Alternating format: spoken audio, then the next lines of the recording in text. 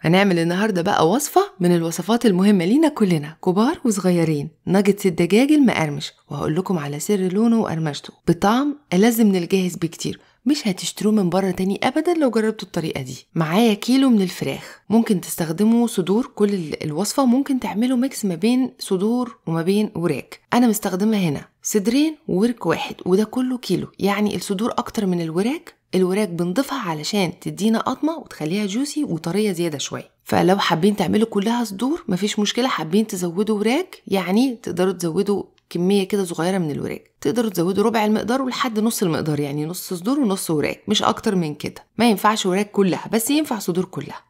حطيتها في الكبة أو محضرة الطعام وبفرم بقى كل حاجة. بعد كده بنزل عليها بثلاث معالق كبيرة من اللبن البودرة. ممكن معلقتين ممكن معلقة ممكن يتلغي خالص. اللبن البودرة اختياري هو بيدي طعم حلو بس. معلقة صغيرة من الفلفل الأبيض أو الفلفل الأسود. أنا حطيت أبيض بس عشان ما يديش لون مش أكتر. لو ما عندكوش غير فلفل أسود حطه. وهنحتاج كمان معلقتين كبار من النشا. خليها ماسكة نفسها كده وبتقطم معانا. والمكون بقى السري. والمكون المهم في الوصفة دي خلطة الدجاج المقلي. أي نوع اللي هي كنا بنسميها زمان الفيجيتار اللي هي خلطة الفيجيتار لو أنتوا فاكرين يعني. معرفش دلوقتي إيه الأنواع اللي موجودة بس في أنواع كتير موجودة منها.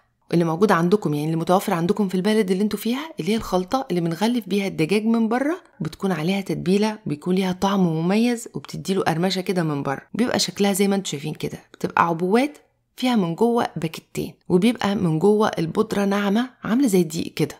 ده بيبقى شكلها. دي بتبقى تتبيلة حلوة قوي للفراخ من بره. أنا بقى هحطها جوه الناجتس وهي دي اللي هتديها طعم زي المصانع بالظبط. هنحتاج packet ونص. أنا استخدمت packet كامل من اللي, هي العادية وهستخدم نص packet كده من اللي هي الحارة. تديها بس اللسعة spicy دي حتى مكتوبة اهي بالعربي عشان تبقوا فاهمين أنا بقصد إيه. فيجيتار كنور spicy الحاجات دي. أنا حطيت عبوة من اللي هي مش حارة ونص عبوة من اللي هي الحارة وخلي بالكم وزنهم تقريبا كان 200 جرام.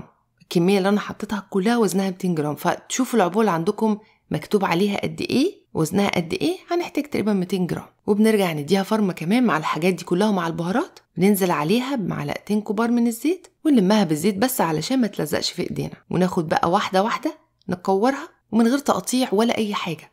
هنكورها ونشكلها على شكل الناجتس كده أهوت. الشكل البيضاوي ده اللي إحنا متعودين عليه. زي ما بتعملوا كفتة الرز كده بالظبط. حسيتوا إنها بتلزق دهنة زيت كده في إيديكم وشكلوها لحد لما تخلصوا الكمية كلها. نحطها في صينية على ورقة زبدة أو على صينية فيها دهنة زيت وبندخلها بقى الفريزر شوية مش كتير بس تتشمع على ما نجهز ال coating الخارجي أو الطبقة الخارجية. وهقول لكم بقى على سر الطبقة الخارجية بتاعة المطاعم السريعة. الطبقة الخارجية طبقتين. طبقة جافة مكونات جافة وطبقة سايلة. هنعمل الطبقة الجافة الأول كوباية من الدقيق معلقتين كبار من النشا النص المتبقي من ال packet من الخلطة اللي أنا قلت لكم عليها دي. يعني إحنا هنحط packet ونص والنص الباقي هنحطه على المكونات الجافة.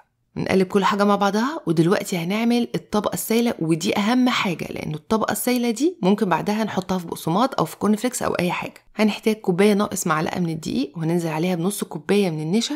ووراهم على طول معلقة وربع صغيرة من ال baking powder وربع معلقة صغيرة من البيكربوناتو اللي هو ال baking soda نديهم تقليبة كده وبعد كده ننزل عليهم ببيضتين. الطبقة دي فيها بيض. وهقول لكم بقى إزاي تعملوا الكوتنج الخارجي من غير بيض خالص بس استنوا معايا للآخر. ومعايا كوباية من المية الساقعة أو الباردة أنا حاطة فيها تلج عشان تبقى ساقعة بس ميه ساقعة من التلاجة عادي ينفع. وبننزل بقى بالتدريج واحدة واحدة ونقلب. نخلط كل حاجة مع بعضها. البيض بقى مع المكونات الجافة مع المية. لحد لما يتكون معاكم خليط سميك. تقيل زي خليط القرنبيط كده. أول ما يسمك كده معاكم تحطوا بقى الملح حطوا رشة من الفلفل الأسود أو الفلفل الأبيض. حطيت فلفل أبيض عشان ما تاخدش لون من بره. مبقاش فيها لون أسود يعني بس عادي حطوا فلفل أسود لو ما فيش غيره. وبكده الطبقة السايلة بقت جاهزة معانا. الطبقة السايلة دي هي الأساس. عاوزين بقى تعملوا التغليفة بتاعت المطاعم السريعة هتحطوها في الطبقة الجافة اللي إحنا عملناها. وبعد كده في الطبقة السايلة اللي إحنا عملناها. وعلى طول على الزيت. تحطوها في الطبقة الجافة. وبعد كده في الطبقة السايلة وعلى الزيت على طول. بينزل معاها نقط كده صغيرة لأنه ده سايل طبعا. أول ما تنزل في الزيت هتلاقوها مقرمشه وحلوة كده. النقط الصغننة دي بمصفى كده شايفين المصفى؟ وبشيلها. عشان ما تحرقش وتبهدل لي زيت وتعمل ريحة. ونقعد بقى نقلب فيها. دي بتاخد لها في الزيت تقريبا قولوا 10 دقايق حاجة زي كده. بس تاخد اللون الحلو اللي أنتوا عاوزينه وكده بقت تمام. شوفوا اللون الحلو ده. شايفين اللون الذهبي الجميل المقرمش ده؟ دي زي الناجتس اللي بتجيبوها من المطاعم أو أشهر مطاعم الوجبات السريعة. نفس التغليفة الخارجية دي اللي هي مفيش عليها بقسماط ولا corn flakes ممكن تحطوه في في الطبقة السائله وبعدين تحطوه في بقسماط مطحون زي الفراخ البانيه كده بالظبط. وبعد كده ممكن تخزنوه زي ما هو كده. تحطوه في الطبقة السائله وفي البقسماط المطحون تضغطوا عليه كويس علشان الطبقة تلزق عليه ودي هتبقى زي المصانع بالظبط اللي هي المجمدة اللي هي بتبقى نص مقلية دي. هي دي هتطلع زيها وأحلى ب 100 مرة ومقرمشة أكتر ب 100 مرة. حطها في الزيت وبرضه نديها تقليبة دي ما بتاخدش وقت دي بتحمر وبتاخد لون على طول زي البانيه كده تشم النار تاخد لون. وأهم حاجة إن الزيت ما يبقاش سخن مولع يبقى درجة حرارته متوسطة. آه سخن بس درجة حرارته متوسطة. شايفين الجمال؟ شايفين شكلهم عامل إزاي؟ دول بالبقسماط مطحون. وممكن تحطوها في الطبقة السايلة وترجعوا بعد كده تحطوها في corn flakes مطحون. طبعا أنتوا عارفين corn flakes بيدي قرمشة زيادة. بس أنا هحطها في corn flakes من غير طبقة سايله خالص للي عاوزينها من غير بيض. يعني اللي عاوزها في corn flakes وما عندوش مشكلة مع البيض يحطها في الطبقة السايله وبعد كده في الكورن فليكس. بنديله طحنة كده طحنة إيه؟ خشنة يعني يفضل خشن معانا شوية عشان يدي إيه؟ طبقة قرمشة من بره crunch خارجي كده. وبديها رشة زيت أو دهنة زيت وأحطها في الكورن فليكس. يطلع شكلها زي ما أنتم شايفين كده. بيلزق عليها عادي جدا ما بتبقاش مجمدة. لما باجي أغلفها بالكورن فليكس بتبقاش مجمدة. علشان يلزق عليها ويدخل جواها ويلزق عليها. وبصفي الزيت يعني بعديه على مصفى كده علشان لو نزل فيه فتافيت ولا حاجة في النص كده بصفيه مفيش مشكلة. شوفوا رجع كأنه جديد إزاي لأن كمية الزيت كبيرة. ونرجع بقى نحط فيه اللي هي بالكورن فليكس.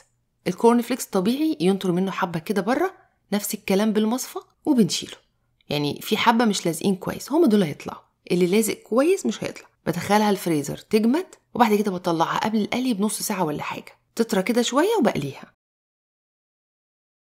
بصوا بقى شايفين الجمال بخليط اللي هي المطاعم السريعة هي دي شكلها ليه لونها فاتح شوية نفس لون الناجتس اللي بيجيبها من بره نفس اللون الأصفر ده الأصفر الباهت شوية ده اللي إحنا بنعملها بالكورن فليكس أو بالبقسماط المطحون بتاخد لون بقى شوية تبقى محمرية كده. والطريقة دي والتتبيلة دي ألذ من المصانع ومن المطاعم السريعة بكتير جدا كمان. ولما بعملها الولاد عندي بيخلصوها وبيقولوا أحلى من الجاهز أحلى من اللي هي بتاعت بره أو من اللي بنجيبها المجمده وبس كده أتمنى إن الفيديو يكون عجبكم. ما تنسوش تجربوا الوصفة وتقولي رأيكم فيها ونزلوا تطبيقاتكم على الجروب بتاعي على الفيسبوك. وأشوفكم إن شاء الله المره الجايه في فيديو جديد.